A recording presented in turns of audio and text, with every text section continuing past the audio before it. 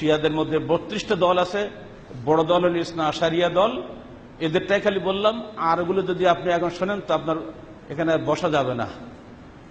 একটা দল আছে গালি, তারা বলে কি জানেন?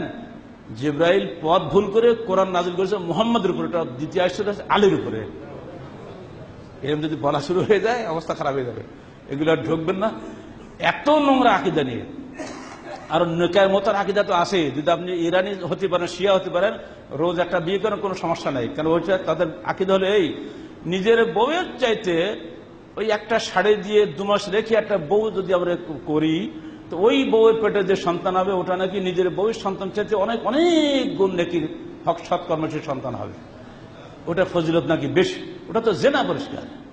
যেটা কেমন আল্লাহ রসুল বিদায় হজের দিন ফতে মক্কার দিন কেমন পর্যন্ত নিকা মতো হারাম করে দিয়ে গেছেন। আর ওনারা ওটা হালাল করে দিয়েছেন। আরও ফজিলত বয়ান করছেন কি, ওই নেকায় মতার বাচ্চারা নাকি আসল বাচ্চার চাইতে আরও ভালো হবে।